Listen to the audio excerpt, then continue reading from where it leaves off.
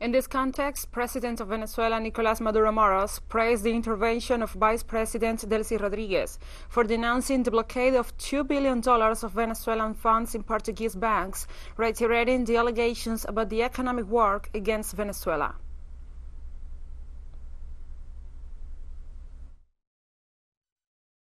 A virtual summit, it brought the great issues of Venezuela, the great issues of the moment. I want to congratulate the Executive Vice President for having been as clear as ever, so forceful in defending the interests of Venezuelan men and women. She denounced the process of monopolization, hoarding, and speculation with the prices of vaccines in the international market. Vaccines have been turned into merchandise for speculation, for domination, for war.